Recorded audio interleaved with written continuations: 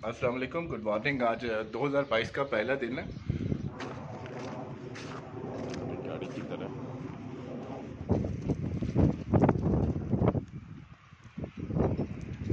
गाड़ी भरी भी है।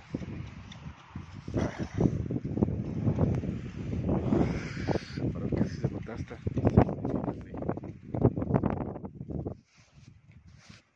ये ना जम जाएगी। जब ये जम जाती है उस वक्त तकलीफ़ से हो जाती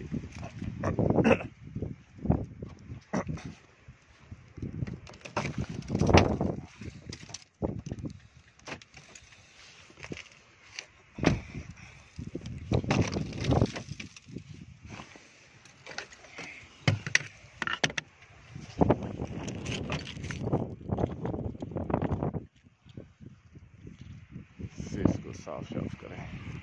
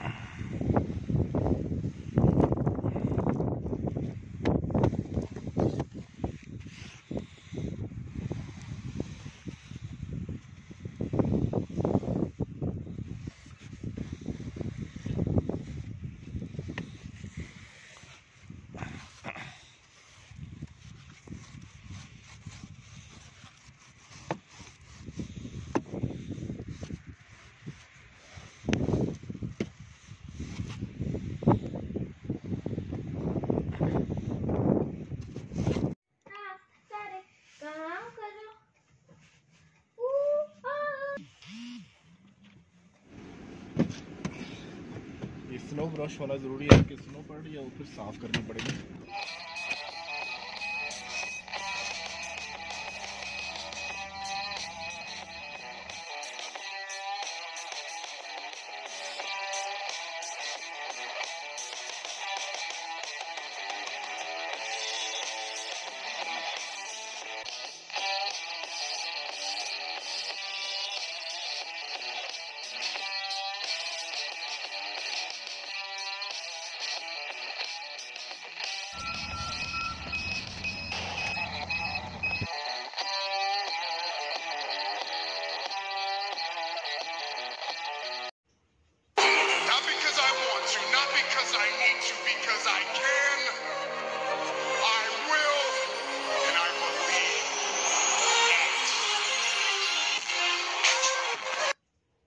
यहाँ तीन तारीख से थर्ड जनवरी से अमेरिका में किसी भी आप इंडोर एक्टिविटी में आप जब जाएँगे तो आपके पास कोविड का वैक्सीन होना ज़रूरी है। वैक्सीनेशन एक मेडिसिन है जिस तरह से आपका फ्लू का होता है। फ्लू की भी हमें वैक्सीन लगती है, छोटा सा, जिससे आपकी वो जो बीमारी होती है उसके ख़िलाफ़ मज़ाहमत होती है। तो मैंने खैर वैक्सीन पहले भी खैर लगवाता था, पहले भी। तो फ्लू वगैरह की लगवाता था तो ये दोनों भी जो है ना, इससे है कोविड की लगी हुई हैं। तो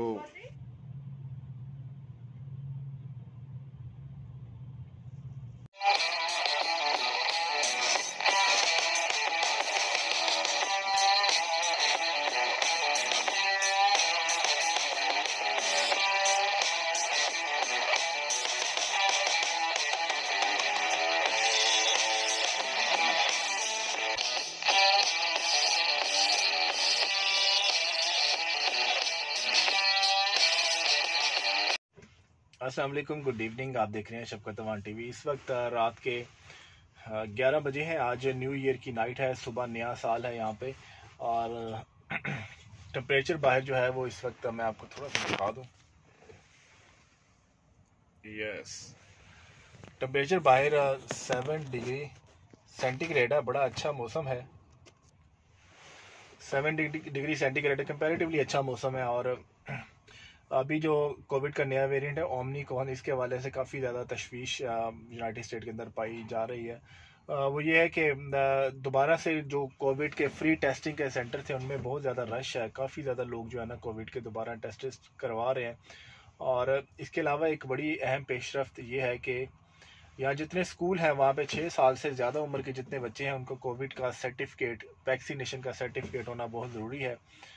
कि उन्होंने दो कोविड वैक्सीन लगवाई हुई हैं और उसके बगैर वो स्कूलों में नहीं आ सकते और ये तीन जनवरी से जो है वो इम्प्लीमेंट होने जा रहा है। मैं इस वक्त जो जिस स्टेट में हूँ, ये इलिनाई स्टेट्स है। और अब, अभी दो दिन पहले मैं यहाँ पे इंडियाना की तरफ़ था। तो तो जो है, यहाँ पे भी जो तीन जनवरी से थोड़ा सा सिस्टम चेंज हो रहा है, तीन जनवरी से ये होना है कि जितने यहाँ पर रेस्टोरेंट्स हैं उनको दोबारा कहा है कि आपके डाइनिंग के लिए, खाना खाने के लिए जो लोग यहाँ पे आएँगे बैठने के लिए बार्स में, उनके पास वैक्सीनेशन का सर्टिफिकेट होना चाहिए कि उन्होंने वैक्सीन लगवाई हुई है अदरवाइज़ उनको अलाउ ना करें आने के लिए। और ट्रैवल जो है एयरप्लेन के लिए यदि करना है, उसके लिए तो वैक्सीनेशन का सर्टिफिकेट होना पहले ही से ही ज़रूरी है, और अब जो है ना, मज़ीद ही ज़रा ज़्यादा सख्ती कर रहे हैं, और थोड़ी सी एक नई एक एप्लीकेशन भी आई हुई है। तो उसका भी ऐसा ऐसा इम्प्लीमेंट हो जाएगा। फ़िलहाल तो जो है वो वैक्सीनेशन का सर्टिफिकेट रिकॉर्ड ही होना चाहिए जिसके तहत आप यूएसए के अंदर दाखिल हो सकते हैं या यूएसए से बाहर जा सकते हैं। तो अल्लाह ताला आपको और मुझे इस तरह की अ, कोई भी बीमारी है किसी भी किस्म की बीमारी है उससे महफूज रखे। बेशक बीमारी अल्लाह की तरफ़ से आती है और अल्लाह ताला ही शफा देता है। यहाँ पे हॉस्पिटल में जो ट्रीटमेंट होता है मरीजों का वो इंश्योरेंस के ज़रिए होता है। अगर आपकी इंश्योरेंस अगर आप कम कमाने वाले हैं, दो हज़ार डॉलर से कम कमाने वाले हैं फैमिली है आपकी तीन मेंबर्स की तो फिर आपको जो है ना गवर्नमेंट की इंश्योरेंस होती है कि आप फिर जाके आप गवर्नमेंट की इंश्योरेंस पे इलाज करवा सकते हैं। अगर आप थोड़ा तीन हज़ार, पहले थे दो हज़ार डॉलर, अब महँगाई चूँकि ज़्यादा हुई है तो कम इनकम की जो रेंज है ना, वो तीन हज़ार डॉलर कर दी है। कि अगर तीन बंदों की फैमिली है हस्बैंड वाइफ या बच्चे तो वो अगर तीन हज़ार डॉलर से कम कमा रहे हैं तो वो लो इनकम है। पहले अभी एक साल पहले दो हज़ार डॉलर थी। तो इसका मतलब है कि तीन हज़ार डॉलर अगर इन्होंने की है तो वो महँगाई की वजह से की है, और एक साल में हुई है।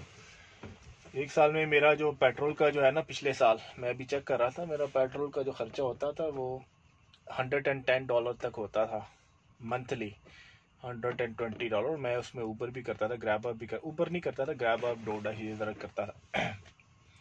तो अब उतनी ही चलती है गाड़ी लेकिन खर्चा जो है ना वो टू हंड्रेड डॉलर होता है टू हंड्रेड टेन तो क्योंकि गैस उस वक्त एक साल पहले दो डॉलर की थी अब तीन डॉलर और पचास सेंट की है।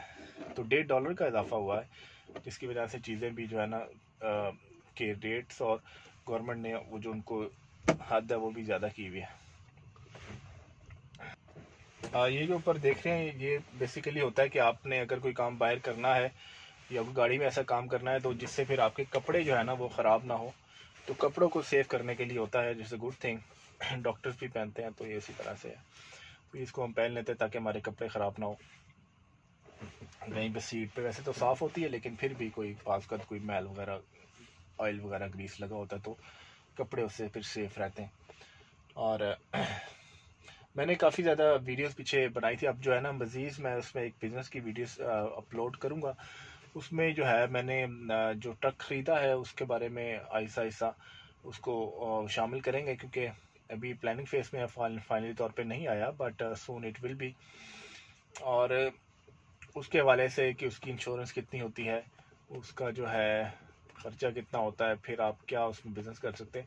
तो मोस्टली ये उनके लिए होता है, जो दो people who are in United States या कनाडा में हैं, लेकिन मुझे ज़्यादातर लोग जो देखते हैं वो पाकिस्तान इंडिया बांग्लादेश अफ़गानिस्तान मतलब पाकि यूएसए के बाहर से देखते हैं। तो तो वो जो है ना, उनमें से काफ़ी लोगों के अक्सर कमेंट्स डिफरेंट तरह के आ रहे होते हैं कि हम यहाँ पे आना चाहते हैं, किस वीज़ा से आना चाहते हैं। मैं यहाँ पे पीएचडी करने आया था और मैं ट्रक चलाता हूँ, लेकिन मैंने सिर्फ़ ट्रक नहीं चलाया, मैं तकरीबन अठारह कंपनीज़ हैं। दो ढाई सालों में जिनमें मैंने काम किया, उनमें ज़्यादा जो कंपनीज़ है, वो डिलीवरी की जॉब्स हैं ऊबर है लिफ्ट है ग्रैब अब है, फिर ट्रकिंग की कंपनीज़ हैं। फिर पाँच कंपनियाँ उसमें ऐसी हैं जिसमें मैंने ऑफिशियल जॉब की है अकाउंटिंग मैनेजर की की है ऑफ़िस एडमिनिस्ट्रेटर की की है अकाउंटेंट की की है। तो उसके अलावा वॉलमार्ट थी, एक एक कंपनी थी। तो ये तमाम कंपनियाँ मैंने आठ तकरीबन सत्रह कंपनीज़ बनती हैं जिनको मैंने किया। अभी एक अजीब सी सूरत हाल है, मैं आपको बताऊँ ट्रकिंग जॉब्स का। मैंने जब एम किया ना, मैंने एम किया या दूसरी सर्टिफाइड मैनेजमेंट अकाउंटिंग तो इतनी ज़्यादा जो है ना जॉब्स की ऑफर्स नहीं आती थी जब मैंने, मेरे पास सीडीएल है। तो जब मैंने, अभी क्या होता है सीवी मेरी जैसे इंडी डॉट कॉम पर पड़ी हुई है। मैंने कहीं पे अप्लाई भी नहीं किया। कंपनी खुद तलाश करती है सीवी और ख़ुद फ़ोन नंबर लेके ना कॉल करती हैं और खुद कहती हैं, इसका इधर आके ज्वाइन करें। ये उसी वक्त होता है जब, काम करने वाले बंदे कम हों और कंपनियों को ज़्यादा ज़रूरत हो। द मेन रीज़न इस कोई भी ये लेबर का काम होता है ना, इतना आसान नहीं होता। और लोगों के पास अल्टरनेट होते हैं लोग आजकल। घर में बैठ के मुख्तलिफ़ तरीक़ों से पैसे कमा लेते हैं, वो कहते हैं, हमें लेबर करने की ज़रूरत नहीं है। है तो लेबर ही ना। आप कोई भी इस तरह का काम करें, जिसमें ज़रा फ़िज़िकल एफर्ट इन्वॉल्व हो। तो अब वो खुद कंपनी बुला लेती हैं। अभी जैसे एक मंथ अभी किया नहीं है, दूसरी कंपनी कहती है, हमें ज्वाइन करें। फिर उधर किया नहीं तो तीसरी कंपनी बुला लेगी। आई I मीन mean, इतनी ज़्यादा इस इस आ, में जो है ना आपके पास अगर है लाइसेंस तो इसकी इतनी ज़्यादा डिमांड है। तो खैर मैं उसको अपडेट करता रहूँगा।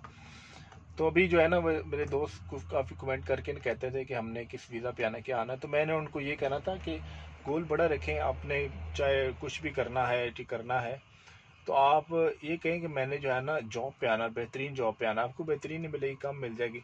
इधर नहीं मिलेगी, उधर मिल जाएगी, कहीं पे भी मिल जाएगी।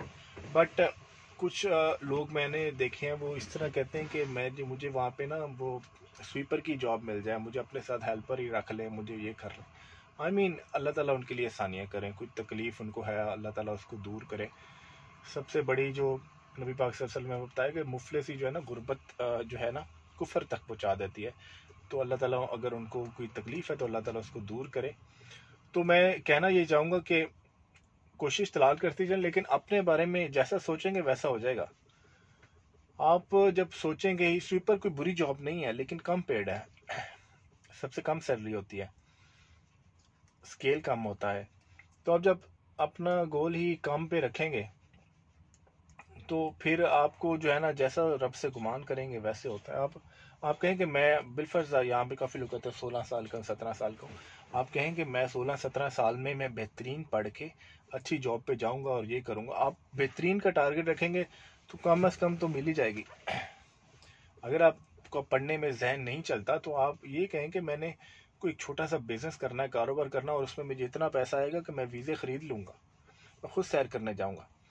मेरी वालदा कहा कहती थी कि अपनी सोच और अपना जो है ना, जो है, बात बड़ी किया करें। बात बड़ी से मुराद है, उम्मीद की बात किया करें। आप अल्लाह ताला से बड़ी उम्मीद रखा करें। जैसी उम्मीद करेंगे रब वैसे कर देता है। और फिर जितना बड़ा गोल रखेंगे, आप मेहनत उतनी ज़्यादा करेंगे, एफर्ट उतनी ज़्यादा करेंगे, और फिर वो मुकाम हासिल कर लेंगे। मुझे क्या है, जो मैं वीडियो बनाता हूँ तो बाहर से लोग देखते हैं, यू, यूएसए के बाहर से। तो मैं आपको बताऊँ कि जब आपने मेहनत करके आपको अल्लाह ताला ने रिजक इतना वसी कर दिया हो ना, जब आपको जहाँ पे भी बैठे हैं, जिस भी जगह पे बैठे हैं, वो अल्लाह ताला के लिए कोई मुश्किल नहीं है कि आपका रिजक जहाँ बैठे हैं उधर बढ़ा दे। तो जब आपका रिजक बढ़ जाएगा ना, फिर आपके पास ये वीज़ा भी होगा ना तो आपको बड़ी तकलीफ़ होगी। मैं इस फ़ेज़ से गुजरा हूँ। चार पाँच साल मैं आता था, यहाँ परेशान होके, बीमार होके जाता था। और जब मैंने यहाँ पे आना होता था तो मुश्किल लगती थी कि यहाँ पे आके ठीक है, काम अच्छा है। मुझे खुदा तला ने अपने मुल्क में इतना करम किया हुआ है। जॉब भी है बिज़नेस भी है ऑनलाइन अर्निंग भी है। अल्लाह ताला का करम है कमी भी कोई नहीं, ख़र्चा भी कोई नहीं, सुकून भी है। फिर सबसे बड़ी बात है, ये दिल का जो टुकड़ा होता है ना जिसम के अंदर, ये खुश है, ये मुतमिन भी है। तो जब आपको ये चीज़ें अब मेहनत से मिल जाएँगी तो फिर आपको जो है ना वीज़ा बाज होता भी है, लोग सैर करने आते हैं। तो लेबर करना फिर मुश्किल लगती है। यहाँ पे अक्सर मैं आपको बताऊँ, ज़्यादातर ना इसमें कोई शक नहीं है। इन मुल्कों में गरीब लोगों को आने का ज़्यादा शौक होता है आके काम करने का, क्योंकि पैसे के लिए आते हैं। जिसके पास पैसा होता है ना, वो काम करने नहीं आते, वो यहाँ पे पढ़ने आते हैं, पढ़ के चले जाते हैं, सैर करने आते हैं, सैर करके चले जाते हैं, क्योंकि यहाँ की लाइफ जो है ना, मैंने आपको बताया कि तीन साल मुझे होने को है। तीन साल में जितनी एफर्ट जितनी मुश्किल, जितनी तकलीफ़ मैंने की, मैं शायद पाकिस्तान में इतनी एफर्ट मुश्किल मैं आठ साल में करता छः साल में करता। और जो मैंने तीन साल में चैलेंज परेशानी अल्लाह ताला की तरफ़ से आती है, वो मैंने देखी। मैंने शायद पाकिस्तान में नहीं देखी थी पिछले कई सालों से। अल्लाह ताला का करम था। तो ये अल्लाह ताला की देन है आपको जहाँ पे नवाजे, जहाँ पे नवाज़ दे। तो इस मुल्क में आपका रिजक खींच के लाता है। मैं अभी एक वीडियो शेयर करूँगा how I came in U से मैं इमिग्रेशन बंदे से इंटरव्यू कर रहा था, मुझे खौफ नहीं था और मैं वीज़ा एक्सपायर होने के एक दिन पहले आया था। मेरा था कि ये ख़त्म कर भी दे तो कोई मसला नहीं क्योंकि जॉब थी मेरे पास। ना भी करे तो भी कोई मसला नहीं। ठीक था मैं ग्रीन कार्ड होता है ना एक साल के बाद आना, आना होता है। तो एक साल से ऊपर हो जाए तो फिर वो ऑटोमेटिक एक्सपायर हो जाता है। मैं एक दिन पहले आया था। तो रिजक खींच के लाया ना रिजक लेके आता है इंसान का। मेरा जो है ना तो उस वीडियो को शेयर करूँगा आपका भी रिजक है तो उसको आप खुद आ जाएँगे। लेकिन बट द थिंग इज़ अपने बारे में कभी भी छोटी सोच ना रखें। अपने रब से बड़ा गुमान रखें, अपने रब से उम्मीद रखें, अल्लाह ताला से उम्मीद रखें, उसके बाद खुद पे यकीन करें। अगर मुश्किल वक्त में कोई शख्स आपके काम आएगा तो वो आप खुद हैं। मैं अक्सर कहता हूँ, मेरा सबसे अच्छा दोस्त ना मैं खुद हूँ, और मैं अपना सबसे बड़ा दुश्मन भी मैं खुद हो सकता हूँ। किसी ने क्या मेरा फ़ायदा करना, किसी ने क्या नुकसान करना? तो आप ये सोच सकते हैं कि सबसे अपने जो अपने लिए जो है ना, आपने अपने आप पे उम्मीद रखनी है कि यकीन रखना है फिर अल्लाह ताला की ज़ात पे उम्मीद रखनी है। फिर अल्लाह ताला ऐसे ऐसे बंदों को मिला देगा कि जिनको आप जानते भी नहीं होंगे और आपके काम हो जाएँगे। सो so, कोविड से शुरू की मैंने सेहत पे आ गया लेकिन यह है कि टॉपिक ज़रा मिक्स सा था तो मैं वैसे ही मैंने कहा एक वीडियो मैं बना के आप दोस्तों से थोड़ा सा शेयर करूँ कोविड की क्या सूरत हाल है। तो आगे अपडेट करेंगे मिलते हैं नेक्स्ट वीडियो में। अल्लाह हाफिज़।